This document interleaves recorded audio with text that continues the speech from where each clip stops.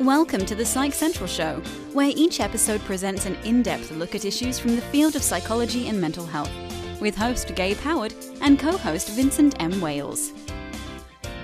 Hello, everyone, and welcome to this week's episode of the Psych Central Show. My name is Vincent M. Wales. With me is Gabe Howard and this time Michelle Hammer. Now, you probably don't know this, but the two of them have another show without me which isn't really too cool, but they agreed to be on this show and we can talk about all of that. So, hi everybody, welcome. Hello. I you know, I also let you be the sole host for this episode and I have relegated myself to guest status, which you haven't caught on yet is actually of higher status because our guests are the most important part of the Psych Central Show podcast. Oh, I know that. They yeah, are. That's true. That's And now I'm a guest. Yeah. I, I picked up on it. Michelle, this is your first time here. Welcome. Thank you. I'm so glad to be here with you guys. This is so nice. I'm loving where we are. I wish we could like be in somewhere this nice all the time. I'm loving it. Did Yeah. not know it was an option. Because your show, your show, a bipolar, a schizophrenic, and a podcast, is not recorded from the comforts of your own home, is it? No. No.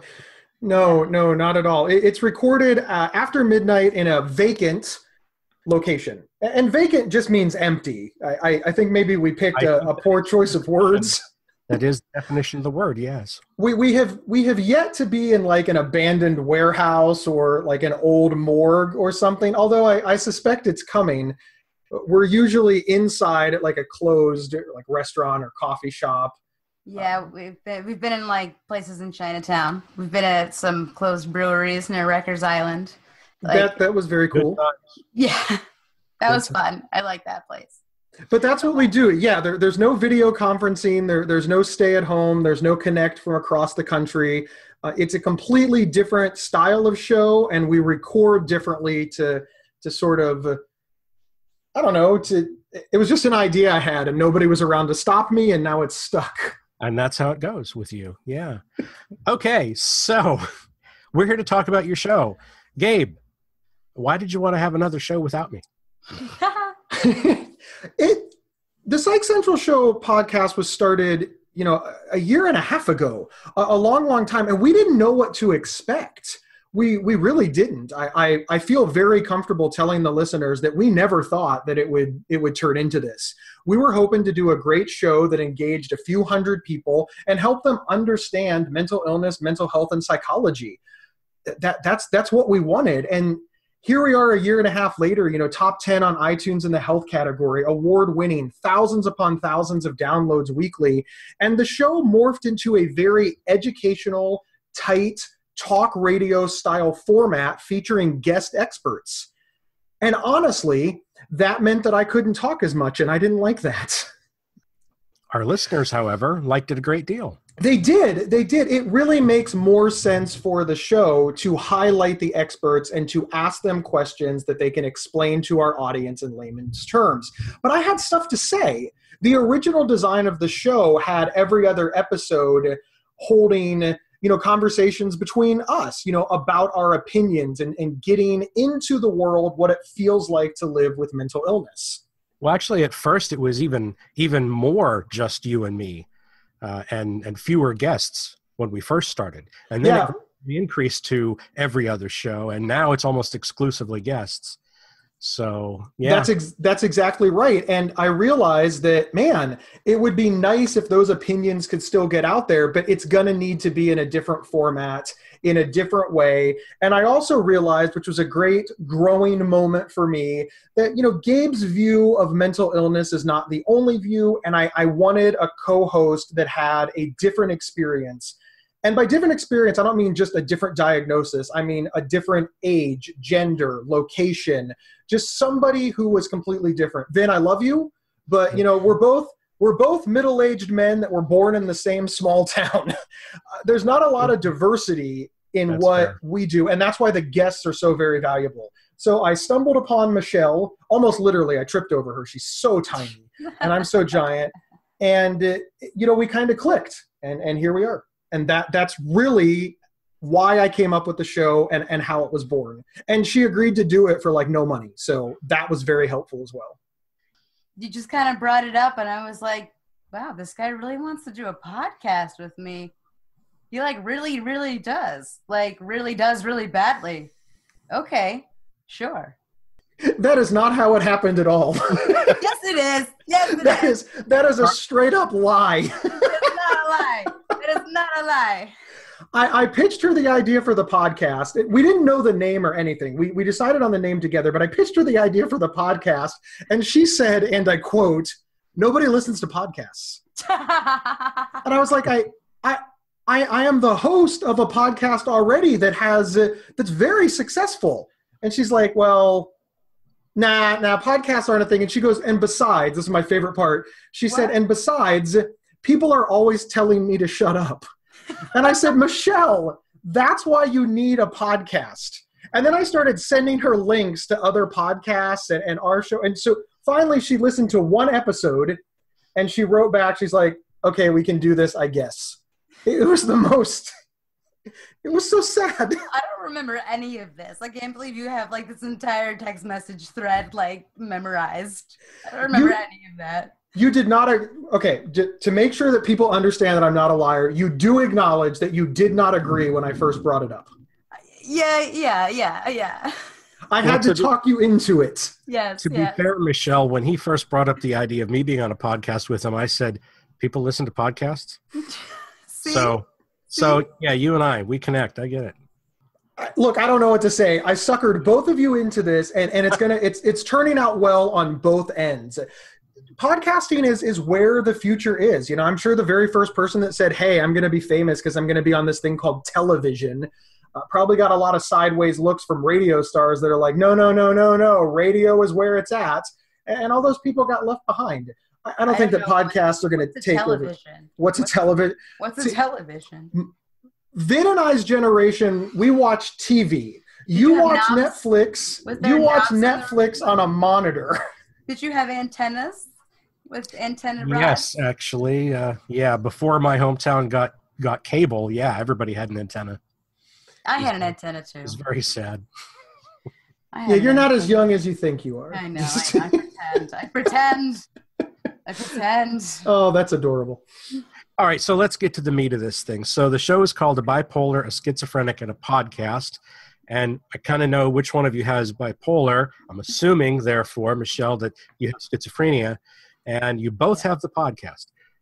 Now, well, this, wait, uh, you- you've actually got that wrong. This is, you know, this is the kind of you don't understand how this works. Michelle is actually the podcast, oh, and every I week am we, the podcast. every Download- week, I yes, get downloaded. every week we publish a schizophrenia all right just we don't we don't like labels uh, Uh, all right i just i learned that from her generation that labels are bad so Labels. michelle is the podcast the show is schizophrenic and i'm i'm still bipolar because i've made a brand out of it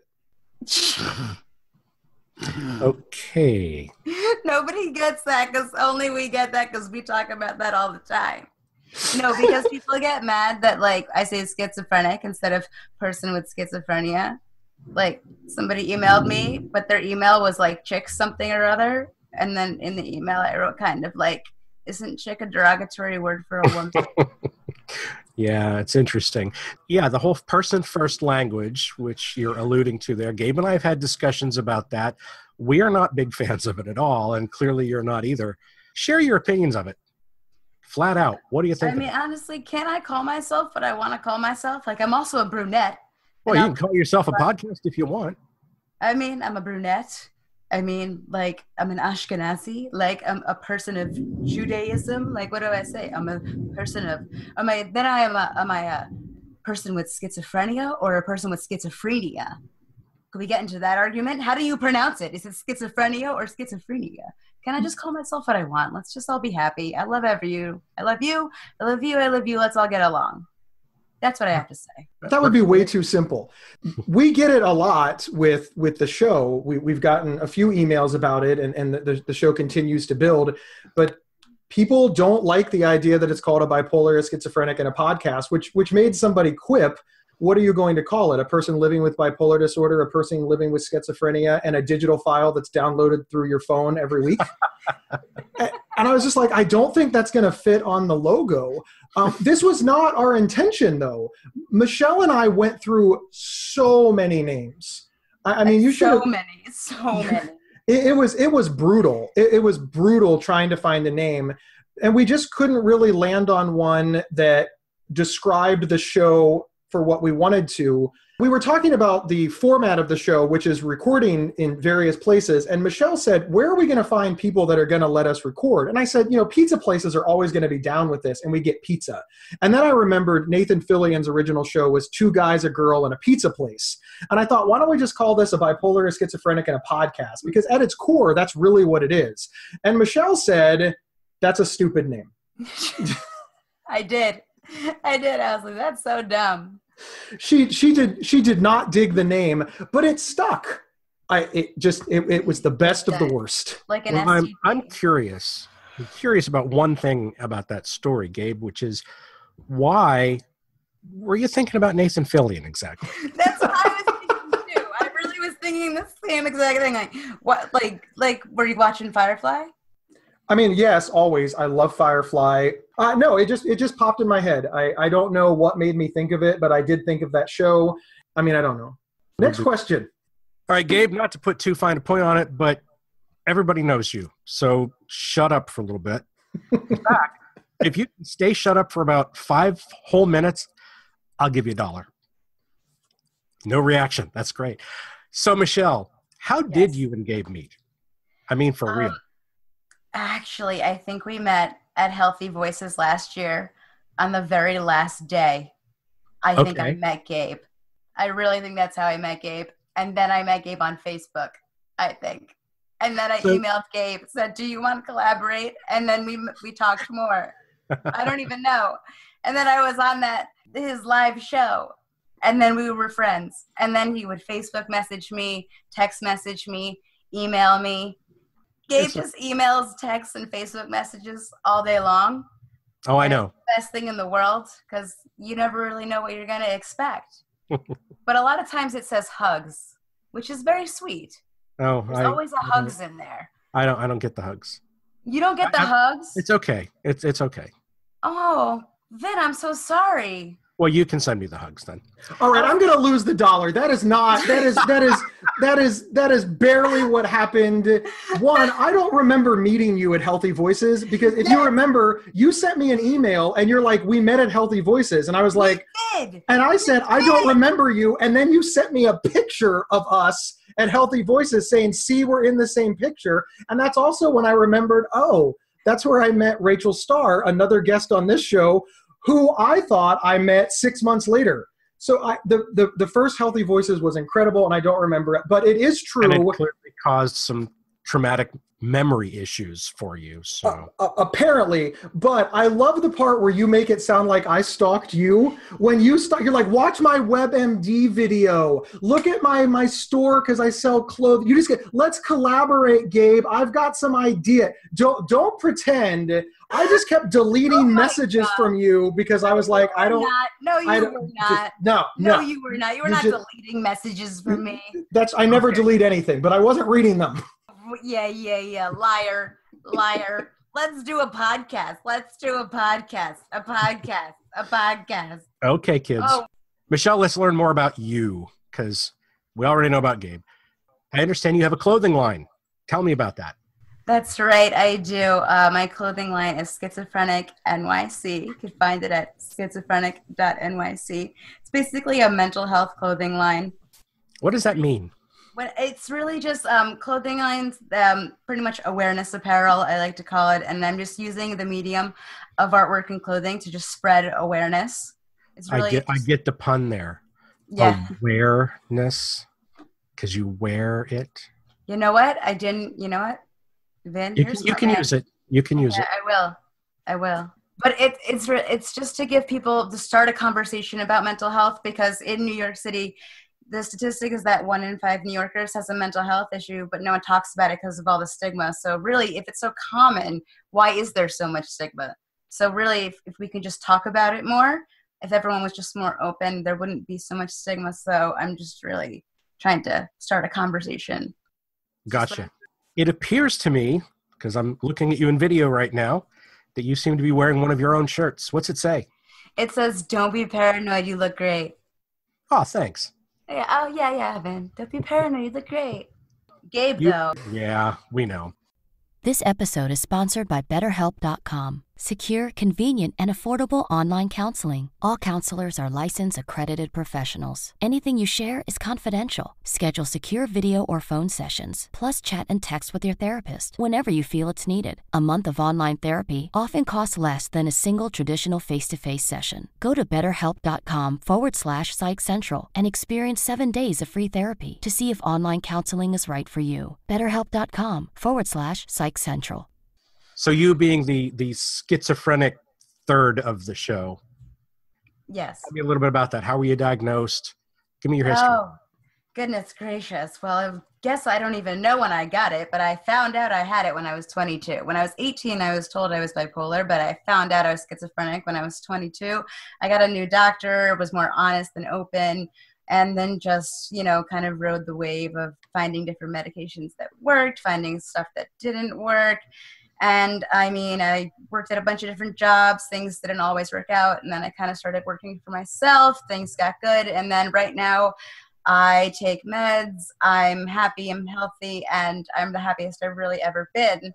So, although I'm schizophrenic, I really do live a very good, grateful life. Well, that's awesome. I'm glad to hear that. Yes, thank you. What do you do aside from the clothing line and this podcast? I work as like a graphic web designer. I can de- design you a website. I can design you a T-shirt. I can design you anything you want, pretty much. Well, yeah. Excellent. Can you and des- she is not wrong. Michelle's actually being very, very humble here. You've worked for some pretty high-end websites. You've you've had excellent internships. You're college educated in this. You live in New York City. You tell in your personal story that you were fired from eight jobs, but these were these were eight jobs that you had in pretty high-end design. And I understand that schizophrenia played into this, but you know you you are immensely talented. Um, obviously, I know you can't say that yourself, or everybody will know how conceited you are. But I, I I wanted to point out that you're you're not just like a graphic designer like everybody that you know downloads Photoshop, clicks around on it, and uses the YouTube editor. Um, you're extremely talented.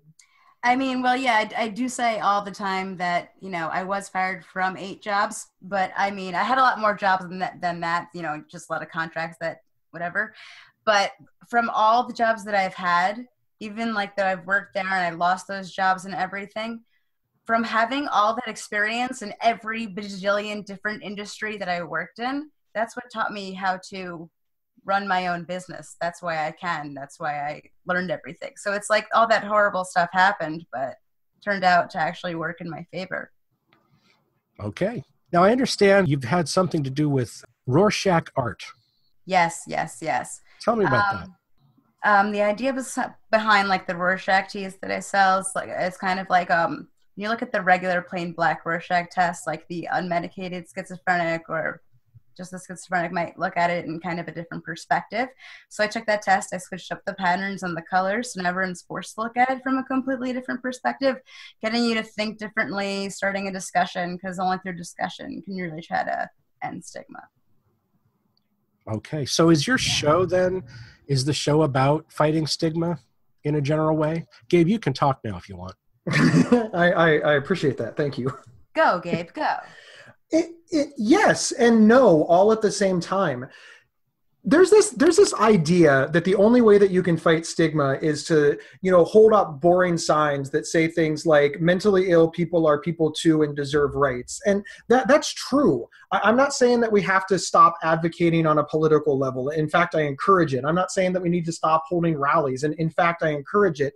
But one of the things that i want to see happen is that mental illness has a spot in mainstream culture that is accurate. And in my mind, my personality, as as driven by how I was raised, where I came from, the things that I like, and heavily influenced by the fact that I have bipolar disorder, is a valid perspective. Michelle's perspective as somebody who grew up with mental illness, who lives with schizophrenia, who has challenges that other people don't face, is a very valid perspective. So, our show is about us talking about how we see the world through the lens of living with mental illness. And I want people to listen to that and be entertained. I want people to laugh because they're funny. I want people to disagree with us. I want people to learn things that they didn't know.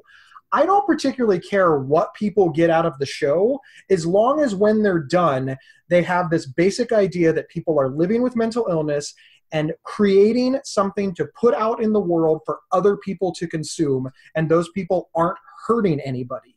Because right now, whenever we talk about mental illness publicly, it's always crisis, it's always violent, and it's always dangerous.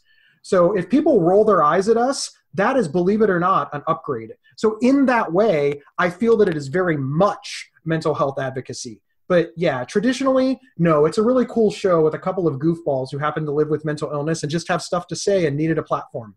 And it's our platform. Yeah, it's fun. It's just a lot of fun. It's a lot of fun to record. It's a lot of fun to do. And it's like a lot of fun to, to know that people are listening to it. Including our moms. Yeah, including our moms. that that was me, who texts me and, and says, I I think I need to defend myself here. so what do your moms think about the show having a mature rating? You know, we, we sort of got saddled with that because we wanted to talk about real life with mental illness. And real life involves, you know, sex. Real life involves drug use. Real life involves making mistakes and we wanted to get you know the good the bad and the ugly out there. And this makes some podcast platforms not to mention any particular fruit uncomfortable. And they don't like the idea that you could talk about you know drug use for example without warning people. So we decided just to steer into the curve put the mature rating on it and you know now we can swear a little something that we don't do on this show ever. We don't do on the Psych Central Show podcast. We can swear a little. We can talk a little more how we would talk in real life. But but listen, it's if you watch the show Family Guy or you listen or you watch television at eight o'clock on any major network, you're going to hear all the same words that you hear on our show. Uh, but it is a little more realistic. But thankfully, the giant fruit won't come after us. Oh, I thought we had a mature rating because I can't stop cursing that that yeah, that's that's could be. I mean, that's that's the shorter version. I like her version better. All right, so we're talking about a show now that is entertaining, has a mature rating, doesn't use person first language. Do you get any negative feedback about all these things? No. Oh, you are so wrong. we have we have gotten some some negative feedback I will admit that the controversy has been a lot lower than I expected. And controversy is probably too hard of a word. I, I, expected to get a lot more pushback. We did get some pushback over the person first language. A couple of people said that we're making light of living with mental illness. And a few people correctly I, I do want to state correctly pointed out that it's because we're well, because we got medical treatment and care and have good family support systems and have health insurance that we're able to be well enough to do a podcast. And that some people suffering with Why mental illness. Wrong? It, I don't think they were saying it's wrong. I, I think that they wanted to make sure that we weren't excluding people who are sicker. And that's not our intention. I will say that nobody has given us negative feedback that I feel has actually listened to the show. A lot of people have passed along negative feedback based on the advertising for the show or the description for the show. And that is very meaningful to me because people who are mocking what they don't know, you can't control them. Everybody has an opinion. The people who are listening to the show, they realize that Michelle and I are very fair and balanced. We're not BSing anybody. We talk about how sick we were and how much help we needed. And I strongly feel, we strongly feel that that is a that needs to be out there. It needs to be out there. Real life with mental illness needs to be out there. It needs to permeate the consciousness of our society because right now it hasn't. All right, so let's talk a little bit about the specifics of your show. You do not have guests, I understand. Yeah, never. In in fact, you will be the probably the only guest we ever have because you wanted a quid pro quo situation. So you're going to hang out with us in Chicago, which is going to be very, very cool. But yeah, the, the, the show is not set up for guests. What about the specific format of, of how the show goes? I mean, when, once you start, how does it stop? Usually we get sick of one another. I'm, I'm just like so done with him sometimes. Like I'm just like I'm done with you. Can we be done? I'm just done looking at you, and I'm done. I'm done. Yeah, I, the- I, I think I said I'm done 12 times because I'm just done. yeah that's we pick our topics in advance of course. Uh, you know we, we go in with with an outline for the show and we go in and we discuss these things we make the points that we have inserted or, or you know disagreements and jokes and, and things like that that come up and we record all of this and that's the format. It's kind of like a talk show except instead of featuring you know men or or women or comedians or whatever it's just a couple of mentally ill people i mean that that's really what it is it's it's kind of like the view with mental patients it's it's really just us discussing topics and it, it does naturally come You to a conclusion you really remind me of Joy Behar. i have no idea who that is You don't even watch The View? so you, don't, No, you I talk just- about the view and you don't know anything about it? You're bringing up The View and you don't even know who Joy Behar is? I can't even believe you right now. I can't even. You don't know who Joy Behar is? I don't I don't want to do a podcast with you anymore. And that's how things end. yeah pretty much uh, usually one of us reaches our limit and, and then we just move on and, and we edit it out there's a lot of editing in our show we, we let people know that it, it's not live it's, it's not a, a live show we go through and then we edit it out later and the jokes that work stay in the jokes that don't come out okay some of the jokes that don't work stay in because i just really really like them we have a great producer and director who helps us a lot his name is vincent m wales um, he is he is key to the podcast surviving um, so we we obviously thank you for that very much. But it's all of these things that come together to to make the show. And yeah, it's all recorded after midnight in a vacant location. Just So why is that? Why why why vacant locations and why after midnight? once again, sometimes things just pop into my head that sound really, really cool. But this one is cool because the best conversations happen after midnight. We all remember being kids and solving all of the world's problems at 3 a.m. while eating pizza. And that's what we're trying to capture here. That's the vibe of the show. The vacant locations is just because we wanted to move it around. I mean, different places have different vibes and feels. And we don't want the show to get stale and we don't want to have the same conversation over and over again because we're looking at the same four walls. And adding that element really, really helped. Plus, Michelle and I don't live as far away from each other as you know we do, Vin. Uh, New York to Ohio is not really that bad. And it just opened up uh, a lot of options for us. And I, I just really feel that it gave the show some feel, some some awesomeness. But bottom line, Michelle didn't talk me out of it, which makes me pose the question to you, Michelle. When when I suggested this, why why did you go along with it? I mean, do you think it's cool? I mean, I, I guess it's I guess it's cool. It's fun. It's go different places, meet new people every time, just by going, "Hi, can we record in here?" Oh, yes. Okay, cool. Then you get to argue over whether it's a convenience store or a bodega. It's a It's a convenience store. It's a convenience store. No, it's a bodega. Listen, I, I still don't know what a bodega is. I know what a convenience store is. The bodegas and the convenience stores sell all the same things. Don't try to make New York sound cooler because you can't call a convenience store a convenience store. You have excellent pizza. Well, yeah. Bagels are What- pretty good what too. Ohio has what? White Castle. Corn. We have corn. White Castle. and White Castle. We do have White Castle. Okay. How do we find the show? You are you are where online? Everywhere. Oh, are- Yeah, we're- a- any your favorite podcast player will absolutely carry a bipolar or schizophrenic in a podcast. We're also available on psychcentral.com slash BSP, which is bipolar schizophrenic podcast, or wherever your fine podcasts are sold. yeah, but they're free. They are free.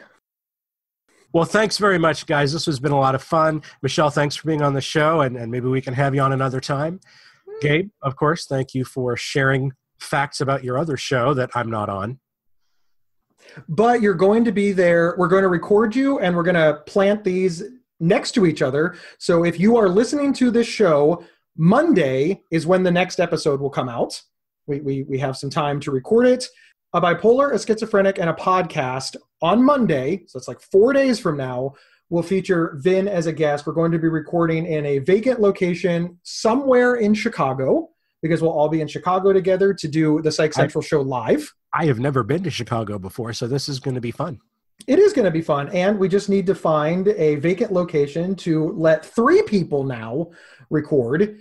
And it'll be cool. So check that out on Monday. It'll just be a, a few days from now. Excellent. Any uh, any parting words, either of you? Farewell. Be well. Love well. Do well. Shut All right, Michelle.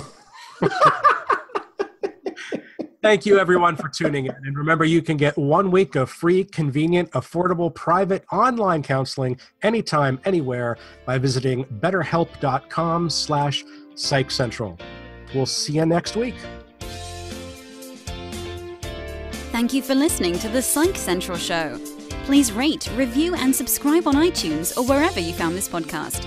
We encourage you to share our show on social media and with friends and family. Previous episodes can be found at psychcentral.com slash show. PsychCentral.com is the internet's oldest and largest independent mental health website. Psych Central is overseen by Dr. John Grohol, a mental health expert and one of the pioneering leaders in online mental health. Our host, Gabe Howard, is an award winning writer and speaker who travels nationally. You can find more information on Gabe at gabehoward.com. Our co host, Vincent M. Wales, is a trained suicide prevention crisis counselor and author of several award winning speculative fiction novels. You can learn more about Vincent at vincentmwales.com. If you have feedback about the show, please email talkback at psychcentral.com.